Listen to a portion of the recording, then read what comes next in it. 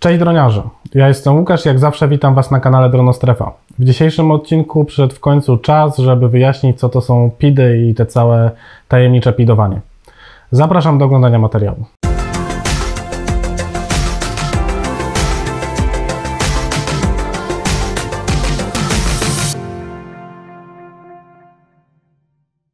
Nie ma dnia, żebym nie dostał zapytania o pidowanie. Szczególnie po tym, jak na przykład udostępnię jakiś film z latania i wtedy dużo osób mnie pyta, czy nie używam czasem stabilizacji, bo mój dron jak lata na zakrętach, czy też na zwrotach, no to nie trzęsie nim, no i też, no i że lata jak po sznurku, bo nie rzuca nim i wszystko wygląda jakieś, na jakieś płynne.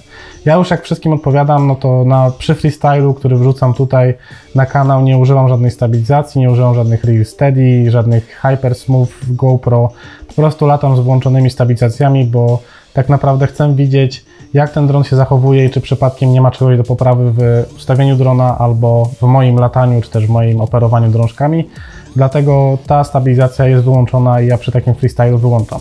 Owszem, jeżeli latam za jakimiś samochodami, czy też robię zlecenie dla kogoś za pieniądze, no to wtedy tą stabilizację raczej włączam, bo nie chcę zepsuć żadnego ujęcia, a też jak się lata za samochodami i gdzieś przy dużych prędkościach pojawia się to powietrze za samochodu, to też potrafi ono nie być takie, że tak powiem, czyste.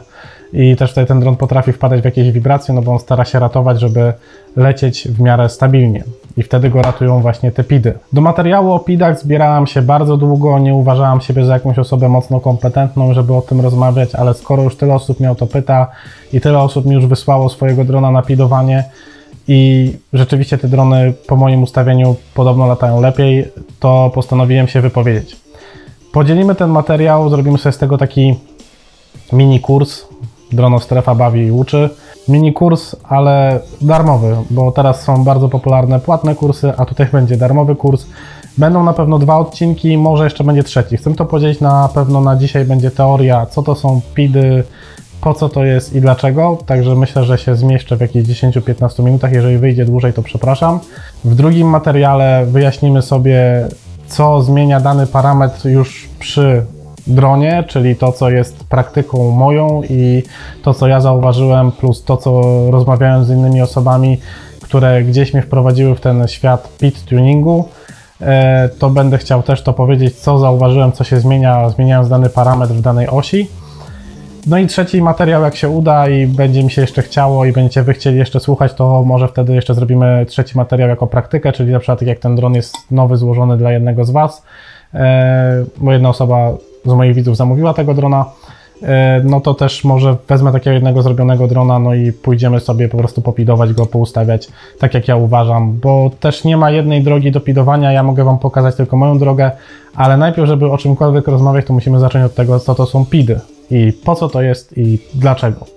Już nie przedłużając, zaczynamy od naszego wstępu teoretycznego, bo musimy najpierw od tego zacząć, żebyśmy wszyscy wiedzieli, co to są PIDy i, i później już się dowiemy, dlaczego są stosowane w dronach. Ktoś sobie wymyślił właśnie, że zrobi PIDy w y, flight controllerze, e, czyli regulator PID.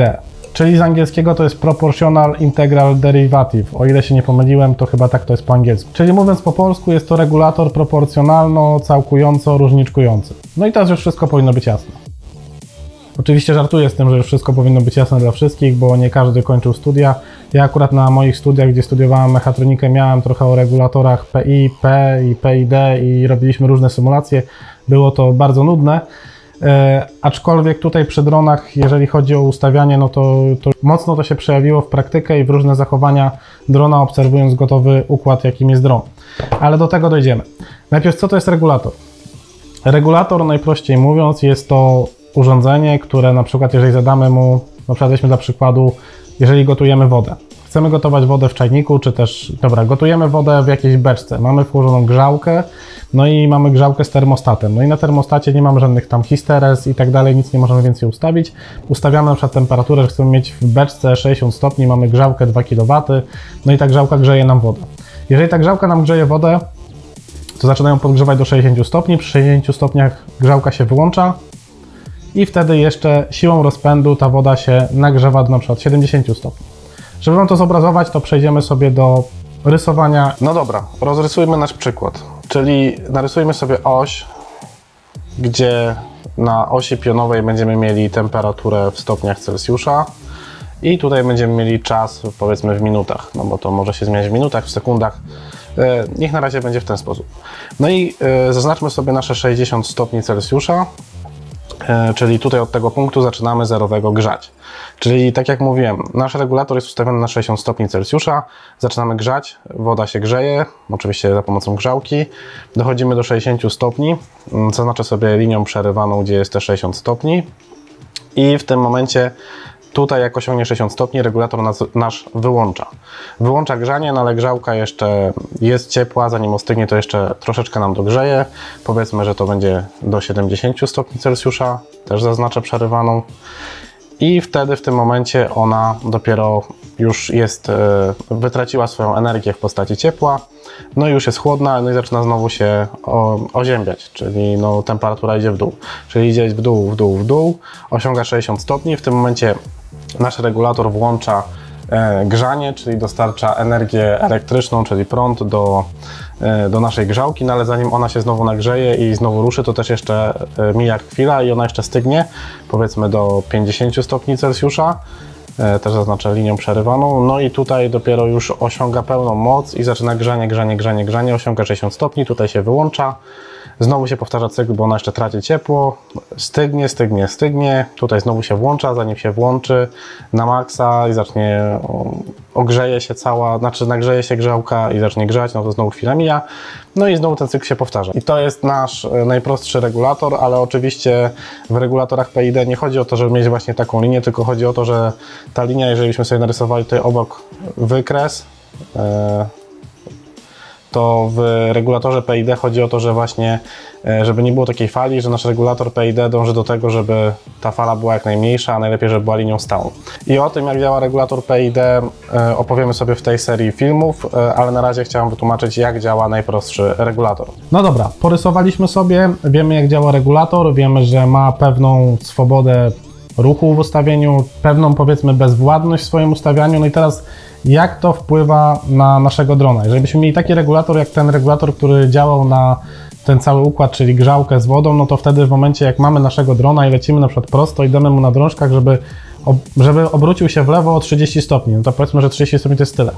No i teraz w tym momencie przy takim regulatorze zwykłym, którym zadajemy mu jakiś dany kąt, czy też wychylenia, czy też e, temperaturę, do której ma grzać grzałka, no to teraz jak mu damy do 30 stopni, na przykład no, na drążku możemy ustawić 30 stopni, puszczamy, on się wychyla tyle, ale jeszcze ten regulator jak puścimy, no to jeszcze ma bezwładność, to go trochę jeszcze przechyli, później on będzie próbował wracać w tą stronę i tak będzie się bujał w lewo, w prawo, w lewo, w prawo i może kiedyś się zatrzyma, ale raczej nie, bo wtedy będziemy musieli kontrolować do nóżkami go znowu w tą stronę na przykład wywrócić i wtedy będziemy kontrolować i tak on będzie się przechylał w lewo i w prawo.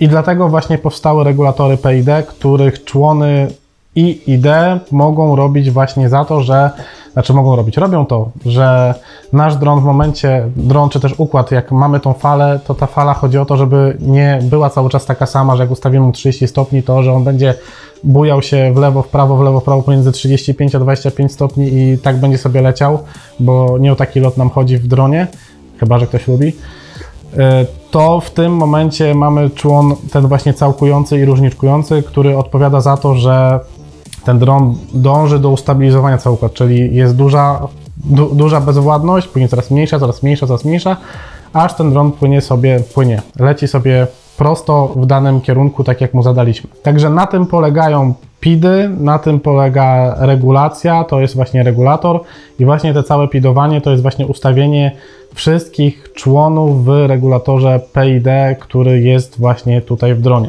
No i teraz mamy w dronie e, trzy regulatory tak naprawdę.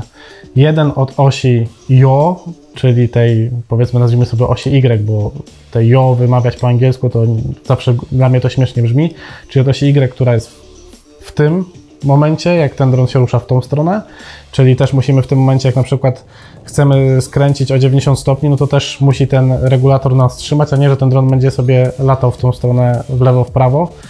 E, mamy też oś roll, czyli w tej osi roll musimy też ustawić drona tak, żeby no, latał sobie płynnie i, znaczy latał, no, płynnie się ustawiał, a nie, że będzie go jakoś trzęść i telepać. No i mamy też oś pitch, czyli tą od tych obrotów przód, tył. No i w tej osi też musimy tego drona ustawić, musimy ustawić regulator PID.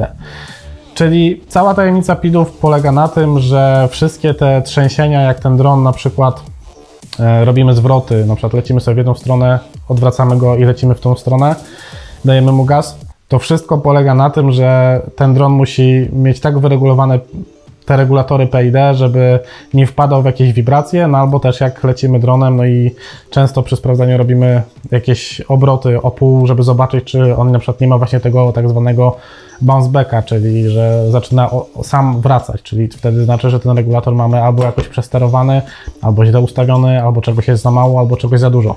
Tak naprawdę tutaj po, potrzeba wiele praktyki, którą będę chciał Wam pokazać, no i już w drugim odcinku pokażę Wam przykłady jakieś filmy moje, czy też co znajdę w internecie, co się dzieje, jak dany parametr ustawimy za mocno, albo za mało, albo dlaczego tak się dzieje, albo dlaczego tak się może dziać. Także, żeby już Was dzisiaj nie zanudzać, to by było na tyle. Wiecie już, jak działa regulator, co to są PIDy, czyli te całe pidowanie. To już wiecie, na czym polega, przynajmniej teoretycznie wiecie, że to jest regulator i po co ten regulator jest i dlaczego potrzebujemy go, żeby, żeby to wszystko jakoś działało razem. Także to by było na tyle w tym odcinku. Mam nadzieję, że był on dla Was pomocny. Jeżeli tak, no to zostawcie łapkę w górę. Przypominam Wam też o moim sklepie internetowym www.dronostrefa.pl. Tam z kodem rabatowym, który jest w opisie tego filmu, macie jak zawsze ceny specjalne. A jeżeli nie subskrybujesz tego kanału, to zostaw subskrypcję, aby nie ominął Ciebie kolejny materiał.